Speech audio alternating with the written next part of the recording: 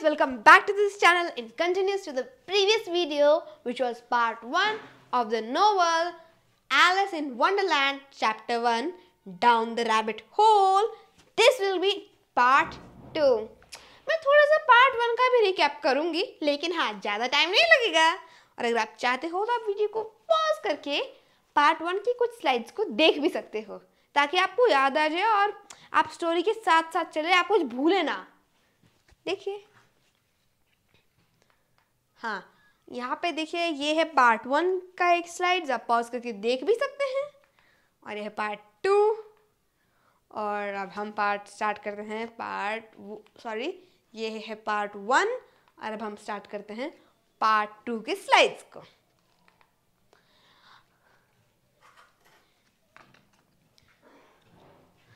There was nothing so very remarkable in that, nor did Alice think it so very much out of the way to hear the rabbit say to itself.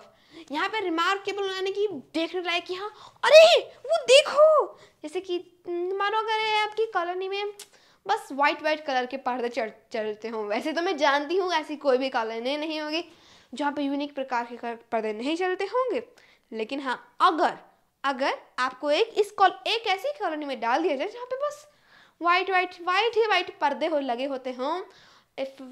लेकिन अगर अचानक से बहुत सुंदर unique curtain आपके सामने आ जाए, जो अलग अलग रंगों से इतनी सुंदर डिज़ाइन में लगा है तो फिर आप बोलोगे, अरे, वो देखो, कितना अच्छा पर्दा है ना! आप ऐसे रिमार्क करोगे कि हाँ वो अच्छा है रिमार्क करोगे ना? तो उसे कहते हैं remarkable remarkable there was nothing so very remarkable मानो, अगर अगर आपको कोई बात करते हुए देखा, जैसे चीटी है जो बात करे आप बोलोगे, हैं? ये चीटी बात कर रही है? लेकिन एल लेकिन जो रैबिट था, वो जो ये सब ऐसे करके ब्लू आइज़ वाला जो वाइट कलर का रैबिट था, उसे जो वो कर रहा था, उस पर एलिस को कुछ ऐसे नहीं लगा कि हाँ अरे वो देखो, वो चुपचाप बैठ के देखने लगी. In that not did Alice think it is so very much out of the way. Out of the way यानी कि बिल्कुल नॉर्मल चीज़ों से बिल्कुल अलग। आउट ऑफ़ द वे मतलब नॉर्मल चीज़ों से बिल्कुल अलग। जैसे कि मैंने अभी पर्दे का एग्ज़ाम्पल दिया था ना, कि हाँ पर्दे नॉर्मल पर्दों से बिल्कुल अलग था ना वो पर्दा। तो that curtain was out of the way यानी कि वो बिल्कुल नॉर्मल पर्दों से बिल्कुल अलग था, बिल्कुल यूनिक था।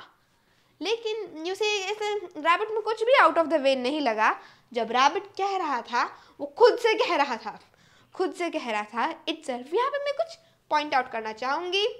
यहाँ पे इट यूज़ हुआ है, ना कि हिम या फिर हर यहाँ पे इट इसलिए यूज़ हुआ है क्योंकि जब हम जानते नहीं है कि कोई मेल है या फीमेल है तो फिर हम यूज़ करेंगे इट लेकिन अगर हम जानते हैं मेल है तो फिर हम यूज़ करेंगे हिमसेल्फ अगर हम जानते हैं कि फीमेल है तो फिर हम यूज़ करेंगे हर सेल्फ सॉरी फिर हम मार्क करेंगे हर सेल्फ तो यहाँ पे इट सेल्फ ये एलिस को भी नहीं पता और हमको भी नहीं पता कि वो रैबिट मेल है या फीमेल है। वो क्या कह रहा था लेकिन वो खुद से? वो कह रहा था ओ dear oh dear I shall be late ये वो ये बोल रहा था। When she thought it over afterwards, it occurred to her that she ought to have wondered at this. But at the time, it all seemed quite natural.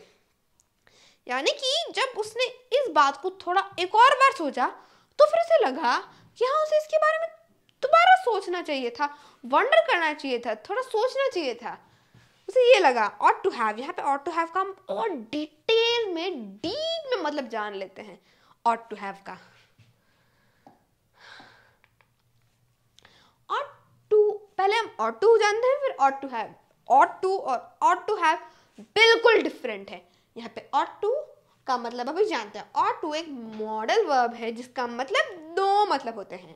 पहला मतलब है desired और आइडियल मनोकामना या फिर ideal they ought to have more parks in the city यानी city में और पार्क्स होने चाहिए.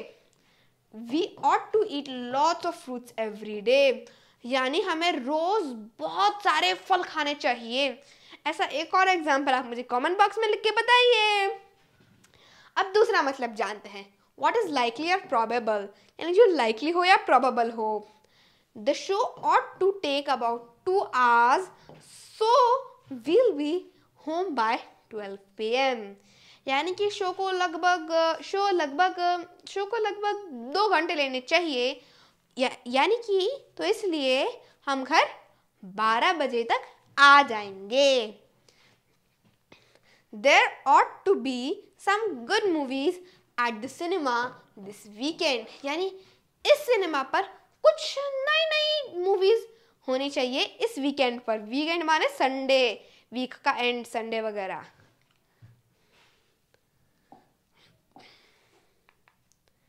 और टू प्लस हैव यानी और टू ठीक है। और टू का मतलब हमने जान लिया। पहला मतलब डिजायर्ड और आइडियल और दूसरा मतलब जल्दी से बताइए। दूसरा मतलब है प्रोबेबल या फिर या फिर लाइकली प्रोबेबल या फिर लाइकली यहाँ पे एग्जाम्पल्स भी देख लीजिए। आप नए नए एग्जाम्पल्स भी मुझे कमेंट बॉक्स में ज़रूर लिख के बताइए, ताकि मैं उनको देख सकूँ और मुझे भी मज़ा आ जाएगा आपके एग्ज़ाम्पल सुनकर। एग्जाम्पल्स पढ़कर। और टू प्लस हैव यानी और टू हैव और टू ठीक है, समझ में आ गया। और टू के मतलब हमने समझ लिया। लेकिन और टू हैव यानी और टू और टू प्लस हैव का मतलब अब भी जान लेते हैं, भी जान लेते हैं। डिजायर्ड और ideal in the past but which didn't happen it can express regret यानी कि वो आप चाहते थे क्या आपकी मनोकामना थी कि ऐसा हो पास्ट में, यानी पास्ट में, यानी भूतकाल में आप चाह जानते आप चाहते थे कि ऐसा हो, लेकिन वो ऐसा नहीं हुआ। ऐसा नहीं हुआ और रिग्रेट यानी रिग्रेट करने रिग्रेट के सेंस में हो सकता है it can express regret for example you ought to have locked the gate then the cat wouldn't have got out यानी कि तुम्हें गे, तुम्हें गेट तुम्हें गे यानी कि तुम्हें गेट बंद कर देना चाहिए था। ताकि अगर तुम वरना अगर तुम गेट बंद नहीं करते तो फिर क्या वरना अगर तुम वरन यानी कि तुम्हें गेट बंद करना चाहिए था। अगर तुम गेट बंद कर देते तो फिर कैट बाहर नहीं निकल पाती। You ought to have locked the gate then the cat wouldn't have got out एक और एग्ज़ाम्पल जानते हैं। I often think that I ought to have studied maths not arts यानी कि मैं मैं कभी यानी कि मैं कभी कभार सोचती हूँ कि मुझे मैथ्स पढ़ना चाहिए था, ना कि आर्ट्स ऑट टू हैव अब आगे बढ़ते हैं बढ़ते हैं।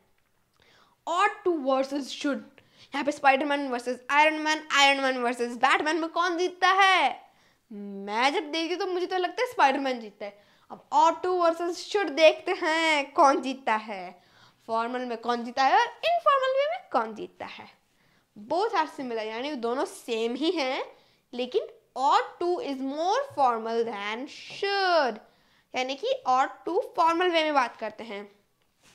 फॉर्मल वे में आप बात करते हैं अगर आप फॉर्मल वे में बात करें तो फिर आप ऑट टू यूज़ कीजिए।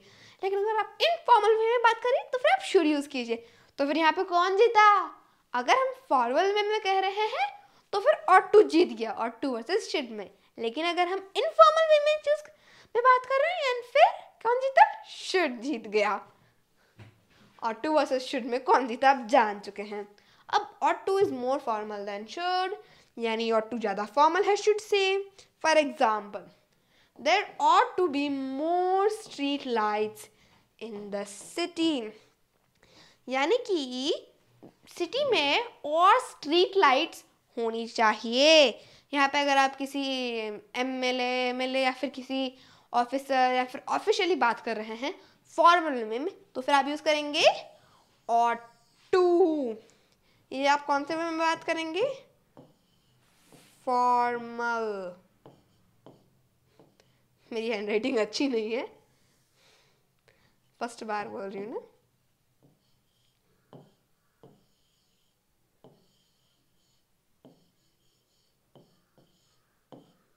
ये फॉर्मल वे में हुआ।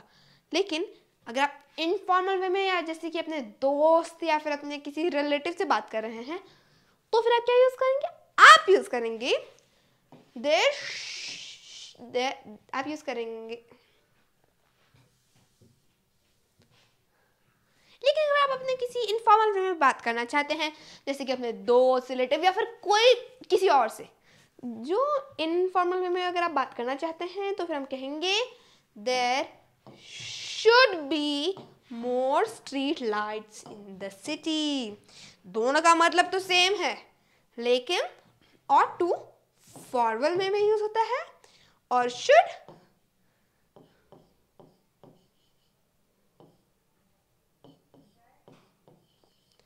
इनफॉर्मल वे में यूज़ होता है। शुड इनफॉर्मल वे में और टू फॉर्मल वे में यूज़ होता है। आशा है कि आपको उसका डिफरेंस पता चल ही गया होगा। अब थोड़े एग्ज़ाम्पल से भी जान लेते हैं। एक एग्ज़ाम्पल तो होगा, दूसरा एग्ज़ाम्पल देखते हैं।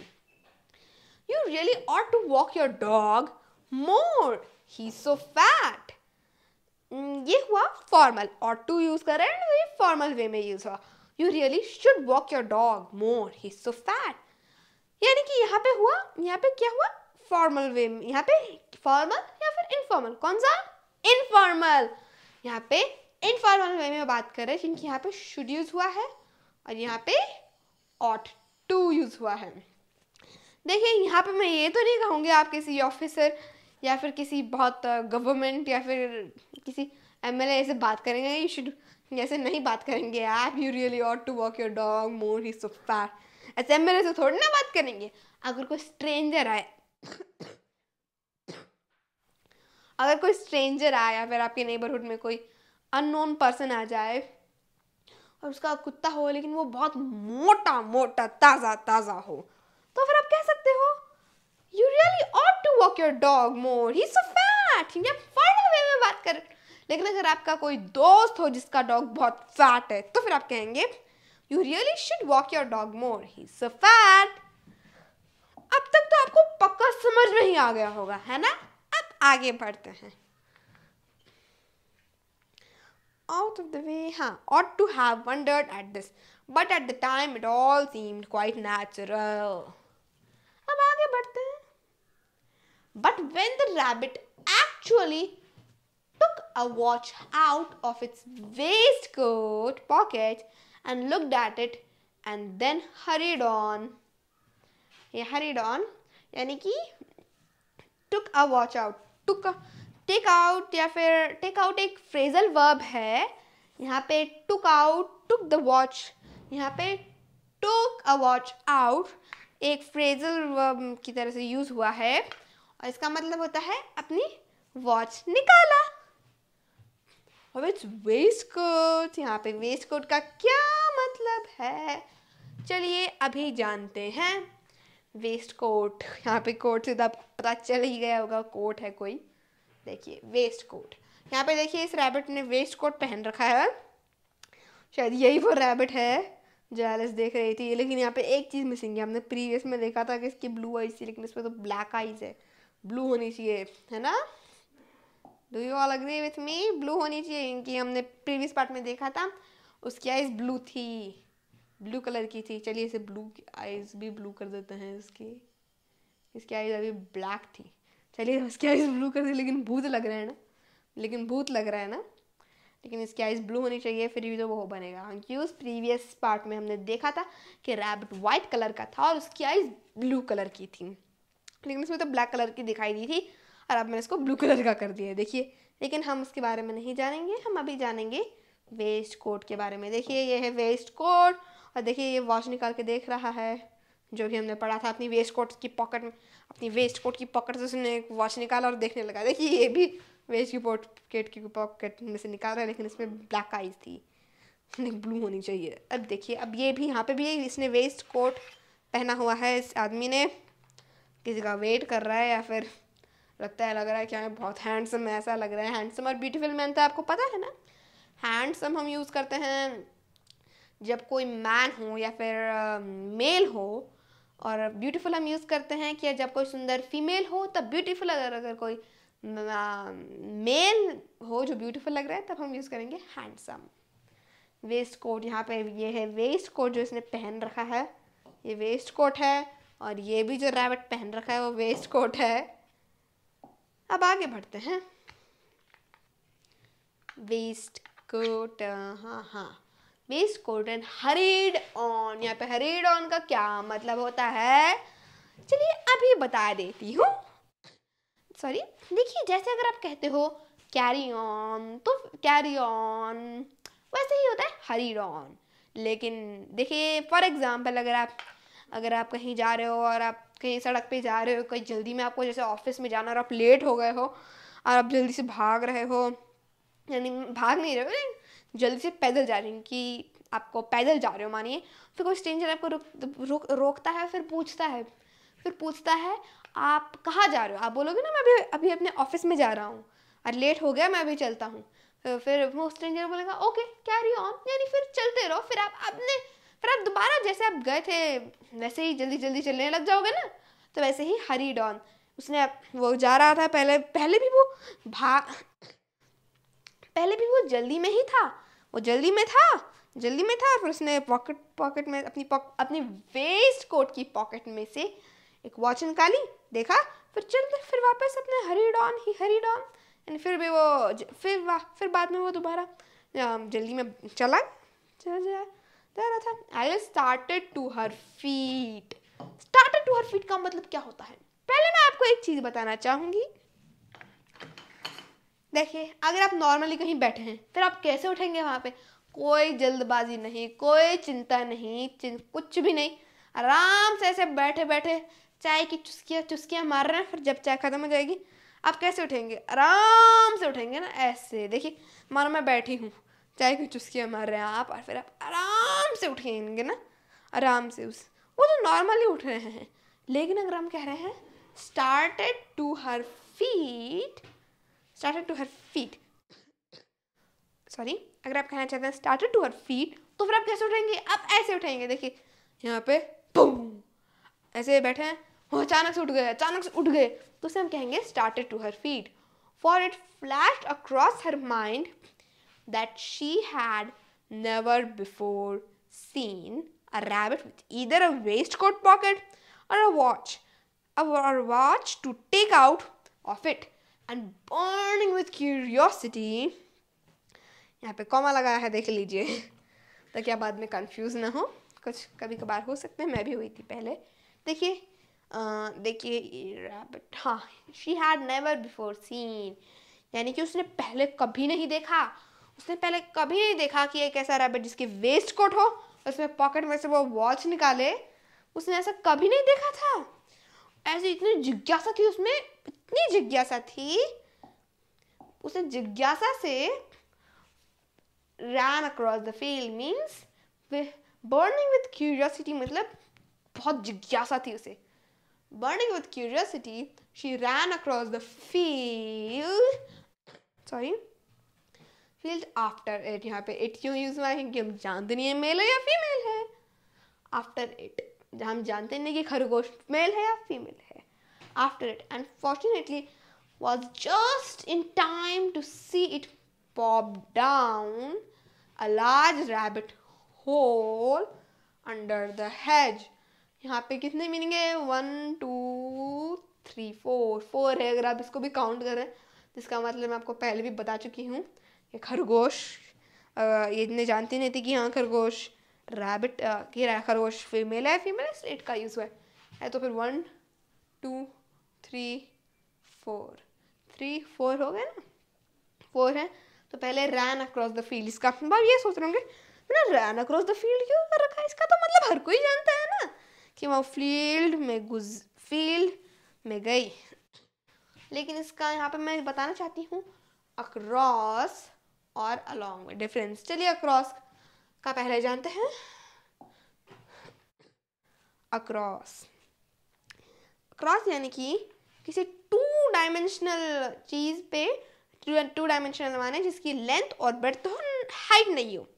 हाइट नहीं हो। तो उस पे, उससे गुजरना या फिर उसके एक साइड से दूसरी साइड जाना होना। जैसे कि, देख, जैसे कि देखिए लड़की है, ये टू डायमेंशनल फ़ील्ड है। ये टू डायमेंशनल फ़ील्ड है। देखिए इसकी लेंथ और ब्रेथ है हाइट नहीं है। और ये लड़की इसको ए, इसके एक साइड से दूसरी साइड जा रही है। तो फिर इस केस में हम यूज़ करेंगे अक्रॉस अब एक और एग्जांपल जान लेते हैं। देखिए ये एक भेड़िया ये एक भेड़िया है और अभी ये भेड़िया है और अब देखिए कैसे जाएगा। ये टू डायमेंशनल है ना रोड इसकी लेंथ है ब्रेथ है लेकिन हाइट नहीं है। उसको डायमेंशनल रोड से एक पार्ट से, एक साइड से दूसरी साइड जा रहा है। तो फिर इस केस के लिए हम यूज़ करेंगे क्रॉस और कैसे यूज़ करेंगे? देखिए the wolf is walking across the road यानी वो रोड के एक साइड से दूसरी साइड जा रहा है। जा रहा है। एक और एग्ज़ाम्पल लेते हैं, ये तो डक्स का होगा। डक्स का ज़्यादातर बच्चे कार्टून्स में देखते हैं ना।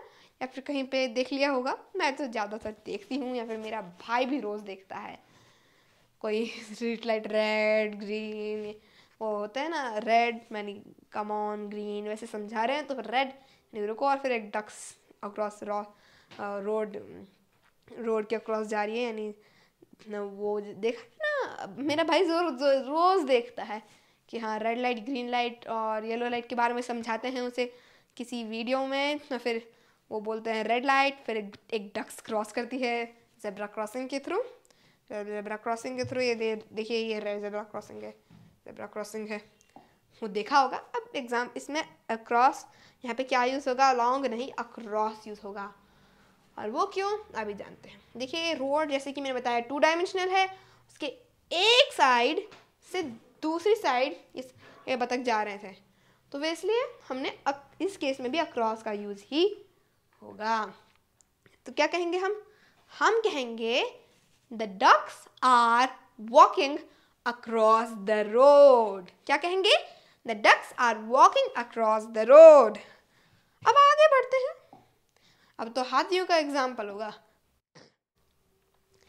देखिए, ये जैसे कि मैंने बताया, ये रोड है टू डायमेंशनल और ये हाथी एक साइड से दूसरी साइड तक जा रहा हाँ है। तो फिर इसलिए हम कहेंगे क्रॉस और क्या कहेंगे? हम कहेंगे हाँ हम कहेंगे the elephant the elephant is मैं सिर्फ़ इस एलिफेंट की बात कर रही हूँ। The elephant is walking across the road यानी कि वो एक रोड एक रोड एक साइड से दूसरी साइड पे जा रहा है। अभी हम नदी का भी एग्ज़ाम्पल देते हैं, लेकिन दोबारा हाथी का ये, हाथी नदी को पार कर रहा है फिर उसके एक साइड से दूसरी साइड जा रहा है। चलिए देखते हैं। देखिए, ये रिवर ये river this elephant is walking across the river यानी कि ये एलिफेंट रिवर के एक किनारे से दूसरे किनारे तक जा रहा है। आगे देखते हैं, अब अक्रॉस देख लिया, अब अलोंग देखते हैं। हमने पहले क्या देखा था? देखिए, हमने पहले देखा था कि ये अक्रॉस यानी ये एलिफेंट इस साइड से, इस साइड पे ए यानी एक साइड से दूसरे साइड पे जा रहा है। मैं दोबारा आपको वीडियो दिखा देती हूँ, ताकि आपकी अगर कोई कन्फ्यूज़न है तो वो दूर हो जाए। देखिए, ये एलिफेंट दोबारा इस साइड से दूसरी साइड पे, एक साइड से दूसरी साइड जा रहा है तो फिर हम क्या कहेंगे? The elephant is walking across the road लेकिन लेकिन यहाँ पे अलॉन्ग कैसे? देखिए अलॉन्ग कैसे? देखिए, अब यही, वही एलिफेंट वही एलिफेंट रोड ये रोड है रोड है, इस रोड के साथ साथ चल रहा है साथ साथ चल रहा है। उसके, देखिए साथ साथ चल रहा है, उसको पार नहीं कर रहा है, उसके साथ उसको एक साइड से दूसरी साइड नहीं जा रहा है, उसके साथ साथ चल रहा है। क्या चल रहा है? उसके साथ साथ चल रहा है। तो फिर इसके लिए हम यूज़ करेंगे along the elephant is walking along the road इसके बारे में मैंने पार्ट वन में भी थोड़ा सा डिस्कस किया था, लेकिन यहाँ पे और दोबारा डिस्कस करें ताकि थोड़ा रिकैप भी हो जाएगा। अब आगे मतलब जानते हैं, अब यहाँ पे आप वीडियो देख के कंफ्यूज होंगे, अब यहाँ पे आप कंफ्यूज रहेंगे ऑन आएगा कि अलोंग आएगा? क्योंकि यहाँ पे ऑन भी आएगा अलोंग भी आएगा। ऑन अलोंग ऑन और अलोंग दोनों आएँगे। कि अलोंग यानी इनके साथ साथ चल रहा है ऑन यानी रोड पे चल रहा है। अब लेकिन अगर ये यहाँ पे चल रहा होता तो फिर ऑन नहीं अलॉन्ग ही आएगा। क्योंकि रोड तो रोड तो ये हो गई ना। रोड पे थोड़ी ना चल रहा है, ये तो रोड के साथ साथ यहाँ पे चल रहा है। लेकिन अगर ये यहाँ पे, जैसे कि आप जानते हैं कि देखिए, यहाँ पे इसके साथ साथ चल रहा था रोड पे तो फिर आप यूज़ ऑन भी यूज़ कर सकते हैं। क्या यूज़ कर सकते हैं? ऑन भी यूज़ कर सकते हैं अलॉन्ग भी यूज़ कर सकते हैं। एक और एग्ज़ाम्पल जानते हैं, इस बार तो टाइगर का होगा। देखिए, ये टाइगर है। ये ये भी this tiger is walking along the road देखिए, यहाँ पे ऑन भी यूज़ होगा, क्योंकि ये भी हाथी की तरह, इसके साथ रोड पे भी रोड पे चल रहा है। लगता है कच्ची रोड है। हाँ अब हमने रन अक्रॉस देख लिया। और अब हम देखेंगे after it unfortunately was just in time to see it pop down I just fortunately was just in time यानी कि बिल्कुल ठीक समय पे थी उसे देखने के लिए कि वो रैबिट होल पे पॉप डाउन कर रहा था। रैबिट होल के अंदर जा रहा था, वो ठीक समय पर देखने के लिए। मानिए अगर आप भाग रहे हैं, किसी अपने किसी के पीछे भाग रहे हैं और वो कहीं, और वो और वो कहीं कहीं जंप करने वाला है। और अगर आप लेट हो गए तो फिर वो जंप कर लेगा आपको पता है आ रहा हो सकता है आपको पता ही नहीं चले कहाँ गया। आप ढूंढते रह जाएँगे। लेकिन वो ठीक समय पे थी कि वो देख पाया है कि रैबिट रैबिट होल पे या फिर बरो कहते हैं उसे। बरो पे पे जंपर उसे बरो कहते हैं तो बरो पे पे बरो के अंदर जा रहा है। लेकिन यहाँ पे पॉप डाउन यहाँ पे पॉप डाउन पॉप अप जैसे अलग प्रकार पॉप डाउन से हम आपको डिस्कस करेंगे। यहाँ पे देखिए पहले पिक्चर देखिए फिर हम आपका मतलब भी जान लेंगे। देखिए ये एलिस है। एलिस बिल्कुल ठीक समय पे है। कि वो इस रैबिट को इस पे अंदर जाते हुए दे, इस रैबिट होल इस रैबिट होल के अंदर जाते से, जाते हुए देख सके। Pop down to go to down मतलब to go some place very quickly or briefly, that is either on a lower level. Pop down. अब आप कंफ्यूज हो रहोगे पॉप डाउन और जंप डाउन में क्या डिफरेंस है? अभी आपका ये भी क्लियर करती हूँ। मानिए, कि स्टेयर्स है। स्टेयर्स है। पॉप डाउन माने आप जल्दी से इनके ऐसे ऐसे एक करके नीचे जा रहे हो। अभी दोबारा आपको अच्छे से समझाते हूँ। यहाँ पे हो गया पॉप डाउन पॉप डाउन का मतलब मानिए, अगर ये स्टेयर्स हैं अगर ये ये स्टेयर्स हैं और पॉप डाउन अगर आप पॉप डाउन का यूज़ कर रहे हैं, यानी कि वो एक स्टेयर वो ऐसे ऐसे जल्दी में जा रहा है। धीरे धीरे तो वॉक डाउन हो गया। अगर ये धीरे धीरे आराम से स्टेयर्स के नीचे जा रहा है तो फिर वॉक डाउन होगा। लेकिन अगर ये जल्दी में स्टेयर्स के नीचे जा रहा है तो फिर पॉप डाउन होगा। लेकिन अगर हम कहें कि ये सीधे एक छलांग में फटैक पहुँच गए। तो फिर इसे कहेंगे जंप डाउन सीधे एक ही छलांग में गए और पहुँच गए। फटैक हम पहुँच गए। इसे कहेंगे जंप डाउन लेकिन अगर आराम आराम से जा रहे हैं आराम से जा रहे हैं तो फिर वॉक डाउन अगर जल्दी में स्टेयर्स की एक एक से को चल के जा रहे हैं हम्म, धी, लेकिन धीरे धीरे नहीं जल्दी जल्दी फटाफट वेरी क्विकली जा रही तो फिर हम यूज़ करेंगे पॉप डाउन वो रैबिट होल है ना, वो रैबिट होल है माने ये ऐसे ऐसे ऐसे ऐसे रैबिट होल भी ऐसे जाता है ना। मानिए अगर अगर आप सोच रहे हो कि रैबिट होल में तो जंप करते हैं ना, अभी आपको बताती हूँ। तो ये मानिए अगर रैबिट होल ऐसा ही होगा ना, ये देखिए ये रैबिट होल है और ये ज़मीन है तो ऐसे ऐसे ऐसे रैबिट जाएगा। और जंप डाउन है एक ही छलांग में फटाक। ये रैबिट होल पे भी ऐसा पॉप डाउन ही यूज़ हुआ है। अब आगे बढ़ते हैं। अब पॉप डाउन ठीक है। पॉप अप क्या होता है? पॉप डाउन और पॉप बिल्कुल डिफरेंट है। देखिए पॉप अप का मतलब to move quickly and suddenly from a close और flat position to a vertical one यानी कि यानी कि अचानक से प्रकट हो जाना यानी कि एक जल्दी से चले जाना एक क्लोज uh, या फिर फ्लैट पोजीशन uh, से एक वर्टिकल पोजीशन पे जल्दी से चले जाना। यहाँ पे इसका मतलब मैं कहना चाहूँगा, अगर आपको एक आसानी से समझना है पॉपअप मतलब कि अचानक से प्रकट हो जाना। अब आप देखिए। देखिए, देखते जाइए देखते जाइए। आ गया ना! लिखिए एक मिनट इसमें। हैप्पी बर्थडे लिख देती हूँ। ओहो। देखिए, अब देखिए, अब देखते जाइए। हाँ हाँ। अब ये चलते गए। आ गया ना। सो दिस ये बिल्कुल पॉप अप हो गया, यानी अचानक बड़ा आ गया। एक और देखते हैं। एक और बार देखते हैं।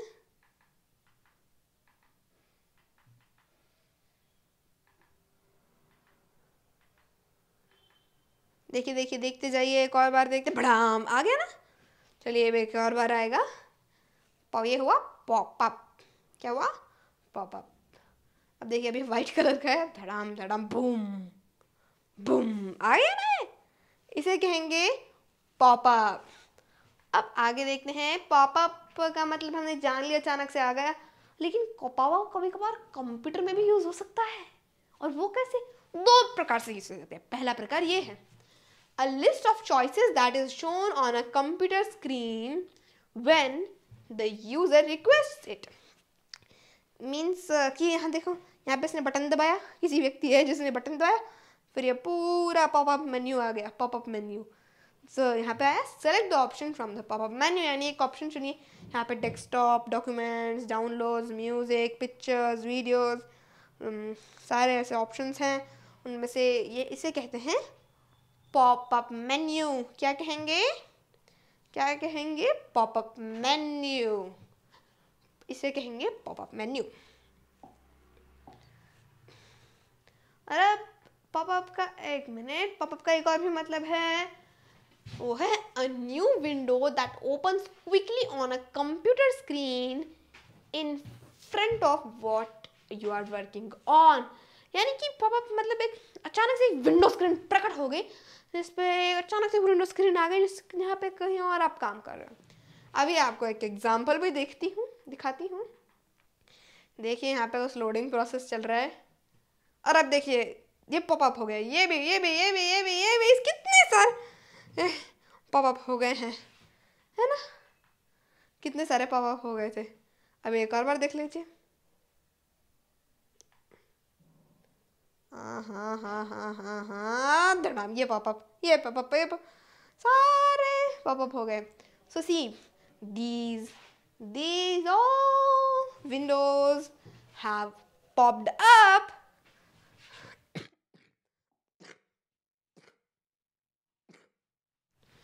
Sorry मुझे थोड़ी खांसी है, लेकिन प्लीज़ माइंड मत कीजिए।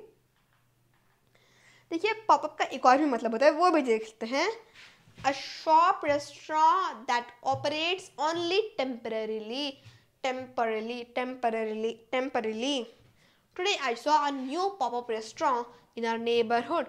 माने कि टेम्पररी रेस्टोरेंट या फिर शॉप टेम्पररी है, यानी एक दो महीने रहेगा, फिर बाद में कहीं और फड़क कहीं और चला जाएगा। जैसे कि यहाँ एग्ज़ाम्पल में कह रहे हैं कि मैंने आज नेबरहुड में एक नया पॉपअप रेस्टोरेंट देखा है।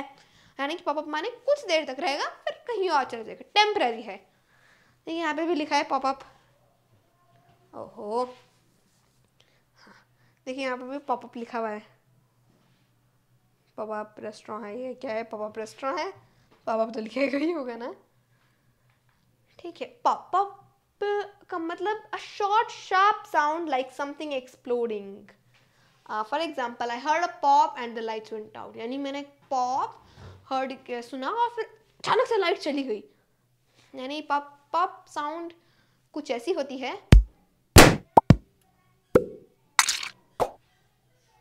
अब दूसरा मतलब जानते हैं if your ears pop you experience noise and feeling in your ears as a result of a sudden change in air pressure, especially when an aeroplane takes off or lands. When, especially when an aeroplane takes off or land. Or land. For example, my ears always pop when the aeroplane takes off. यानी कि देखिए जब आप aeroplane में जाते हैं जब aeroplane take off करती है या फिर लैंड होती है जब वो एरोप्लेन एयर बॉर्न होती है यानी ऐसे तब आपको फील नहीं होगा लेकिन जब ये टेक ऑफ़ करती है और फिर लैंड करती है फिर आपको ज़रूर फील होगा फिर आपको ज़रूर फील होगा कि आपके कान में कुछ अजीब अजीब वगैरह जो होते हैं ना वो कुछ ना कुछ हो रहा है तो उससे कहेंगे पॉप अगर आपने मेरा एरोप्लेन वाला वीडियो देख लिया होगा तो फिर आप इसके बारे में अच्छी तरह से पहली तरह से जानते होंगे। चलिए एक और बार उसका एक क्लिप दिखा देती हूँ।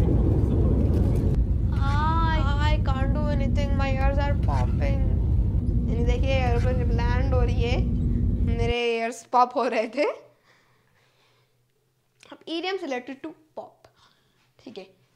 पॉप योर क्लॉग्स यानी कि मरना to die for example I leave I leave all my money to an orphanage when I when I pop my clogs यानी कि मैं अपना सारा पैसा एक ऑर्फनेज में छोड़ के आऊँ दे दूँगी। जब मैं मर जाऊँगी। पॉप योर क्लॉग्स यानी टू डाई दूसरा जानते हैं pop the question to ask someone to marry you pop the question for example I pop the question to your mother ये मैंने अपने पा ये मेरे बुक में आया था। हाँ pop the question pop the question की जिस स्टोरी बुक में आया पॉप द क्वेश्चन मैं सोची ये क्या होता है? पापा मैंने अपने मम्मा से पूछा मम्मा बिज़ी थी? तो मम्मा ने पापा के भेज दिया। पापा ने मुझे बताया कि, कि पापा का मतलब to ask someone to marry you बताया फिर उन्होंने कहा I pop the question to your mother उन्होंने भी यही एग्ज़ाम्पल यूज़ किया कि मेरे पापा ने मेरी मम्मा को शादी के शादी के लिए पूछा। यानी कि मेरे पापा बोल रहे हैं I pop the question to your mother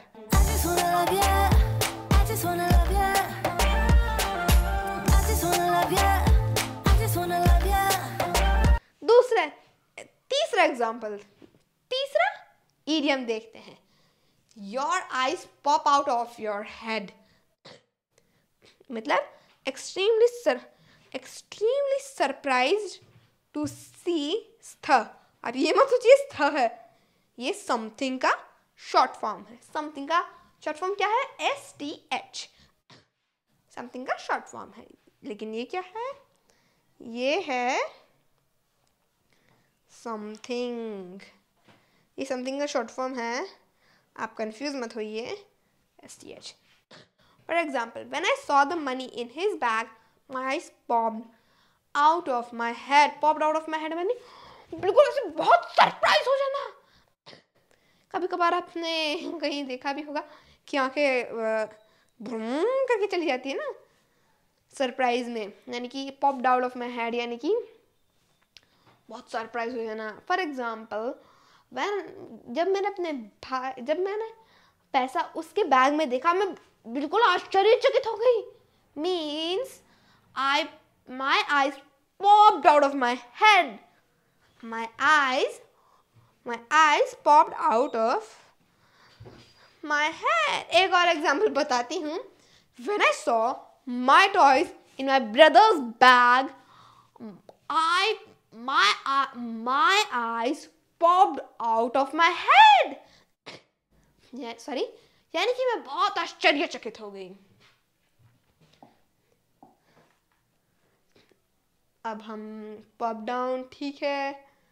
To see it pop down a large rabbit hole large rabbit hole under the hedge यहाँ पे हेज का मतलब क्या होता है? और रैबिट होल का मतलब क्या होता है? अभी बताती हूँ। रैबिट होल तो सोच रहे कि मैंने प्रीवियस पार्ट में भी रैबिट होल समझाया था। वॉरन याद है ना? वॉरन याद है ना? फिर मैं अभी अंडरलाइन क्यों कर रखा है? अभी मैं आपको थोड़ा और डिटेल में पढ़ाने की कोशिश करूँगी। या फिर थोड़ा रिकैप की तरह भी मान लीजिए। यहाँ पे हेज का मतलब भी जानते हैं। यहाँ पे पहले मैं बताना चाहूँगी कि यहाँ पे पॉप डाउन कौन सी यूज़ हुआ जैसे हम हम इन, कितनी सारी मीनिंग जान लिए। पॉप पॉप पॉप अप जान लिया है ना? अब यहाँ पे, वहाँ पे वो जो पॉप डाउन है ना? पॉप यहाँ पे हाँ। यहाँ पे डाउन मतलब मैंने सीढ़ियों वाला समझाया था ना, अचानक से जाना, जैसे मैंने रैबिट होल का भी समझाया था। इसे कहते हैं pop down a large rabbit hole under the hedge rabbit hole का मतलब क्या होता है? रैबिट होल हम कहते हैं बरो बरो उसका मतलब होता है, a hole in the ground dug by an animal such as a rabbit. Especially to live in. यानी एक होल है जो किसी जानवर से डग हो गया है, उसे कहते हैं, एक किसी जानवर ने खोदा है। ध्यान दीजिए। मैंने कहा फॉर मैं कह रही हूँ फॉर एग्ज़ाम्पल रैबिट यानी कुछ, कोई ऐसा जानवर, ना कि स्पेशली कोई ऐसा जानवर, ना कि बस रैबिट कोई ऐसा जानवर जिसने एक खड्डा खड्डा खोद रखा हो जिसमें वो रहे। जिसमें वो रहता है। तो इस रैबिट ने भी ये रैबिट होल या बरो बरो बरो कितने सारे बरो रैट के लिए भी यूज़ होता है। For example rats have burrowed into the bank of the river sorry यहाँ पे बैंक का मतलब आपको ज़रूर पता होगा। अगर आपने प्रीवियस पार्ट देखा है तो तो फिर आपको बैंक का मतलब पता है। लेकिन अगर आपने प्रीवियस पार्ट नहीं देखा तो फिर जल्दी से जाके देख ही लीजिए। आपको बैंक का मतलब बहुत अच्छे से समझा के रखा है मैंने वहाँ पे। आपको बैंक का मतलब बहुत अच्छे से समझ में आ जाएगा। Rats have burrowed into the bank of the river यानी कि रैट्स ने अपना घर, जो बरोड खड्डा खोदने से बनता है ना बरो एक बरो बना के sorry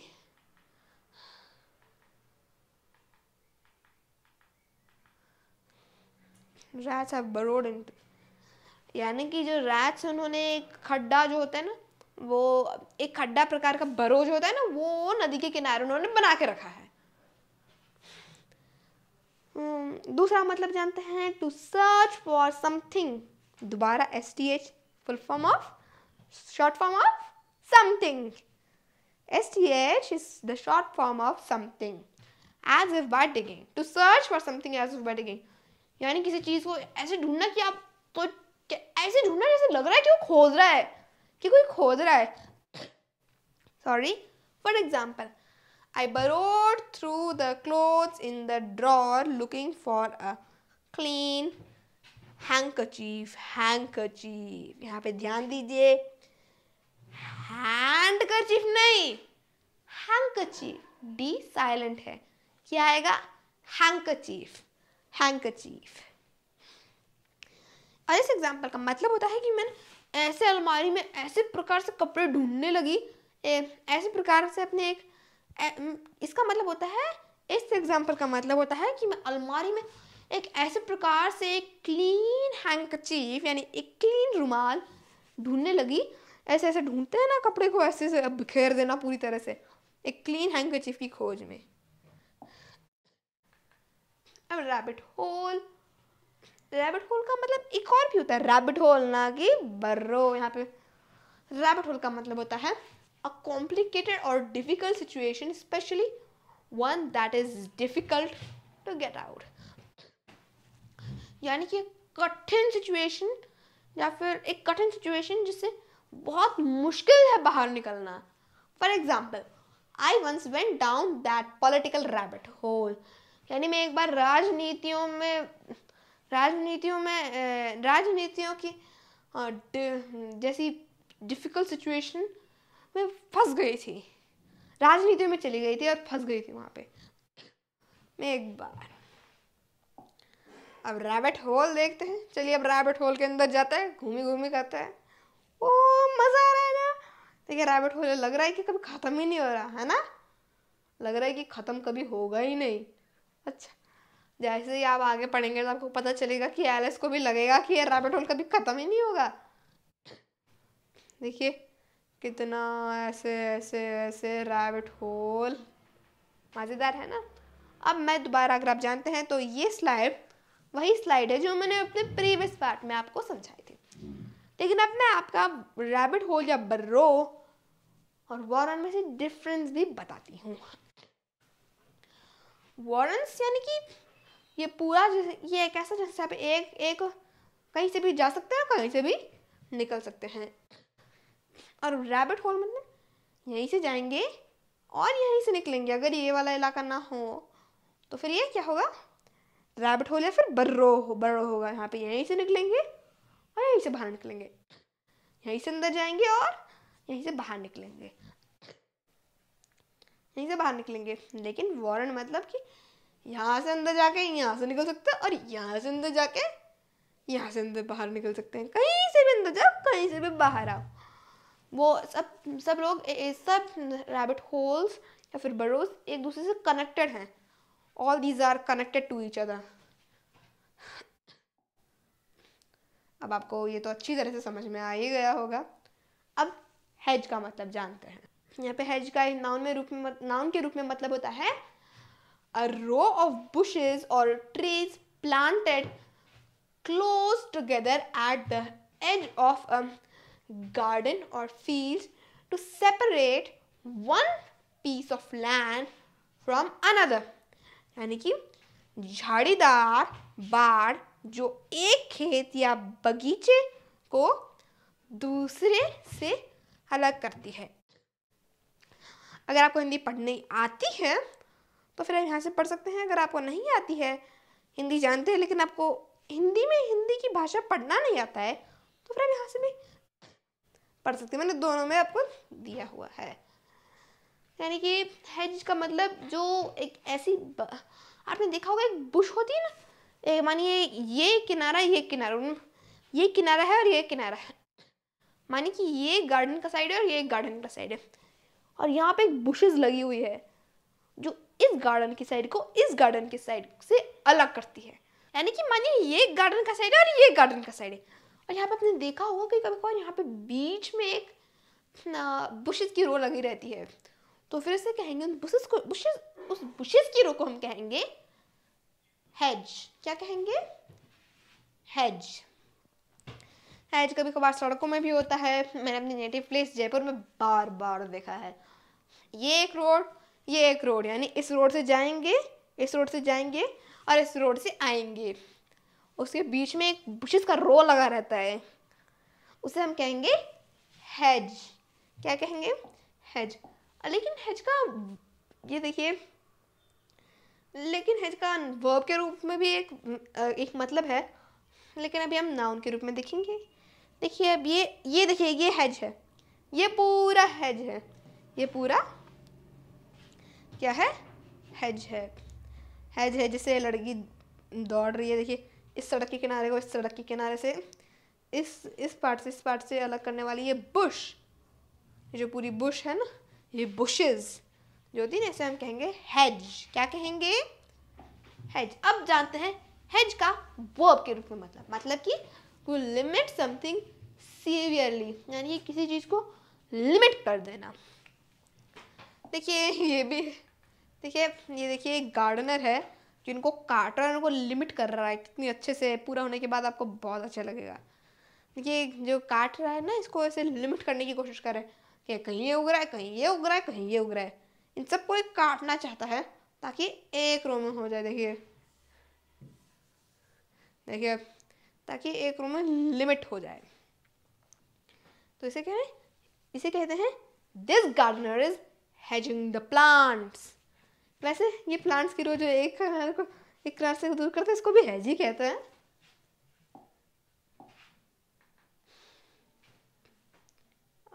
हैज़ वर्क के रूप में एक और भी मतलब होता है वो भी जानते हैं। To try to avoid giving an answer और taking any action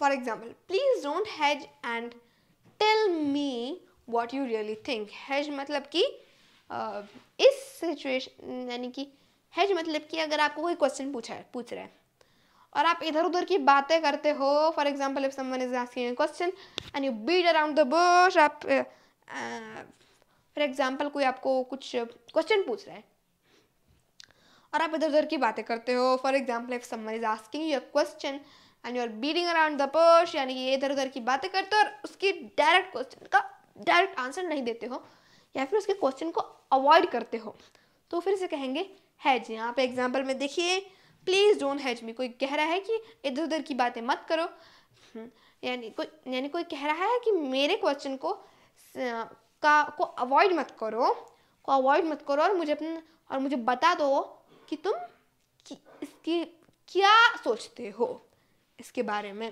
सच्ची में। अब हमने हैज़ का भी मतलब जान लिया है। अब पढ़ते हैं, आगे पढ़ते हैं। In another moment down went Alice after it यहाँ दोबारा इट है। और वो क्योंकि यहाँ पे खरगोश न तो मेल है, न तो फीमेल है। ये हमको नहीं पता। इसलिए हमने यूज़ किया है it in another moment down went Alice after it never once considering how in the world she was to get out again यानी वो वो भी उसके साथ साथ कूद गई। नहीं वो यानी कि वो भी उसके साथ रैबिट होल के साथ से वो भी उस रैबिट के साथ चली गई उस रैबिट होल में।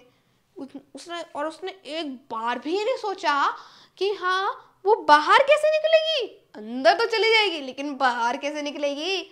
उसने एक बार भी ये नहीं सोचा।